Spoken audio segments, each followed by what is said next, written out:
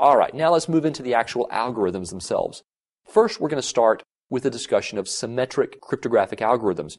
You recall that symmetric cryptographic means that we're using secret keys or private keys. In other words, the same key encrypts and decrypts.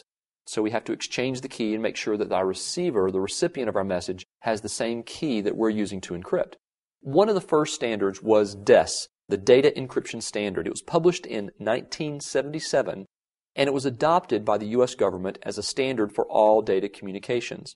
Now, this is a block cipher. In fact, it uses 64-bit blocks, so the input is going to be chopped up into 64-bit blocks, and the key is a 56-bit key.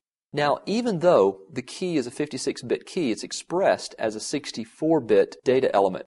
But always remember this is a 56-bit key. The remaining 8 bits are used as parity bits to validate the fact that the key is in fact a valid key.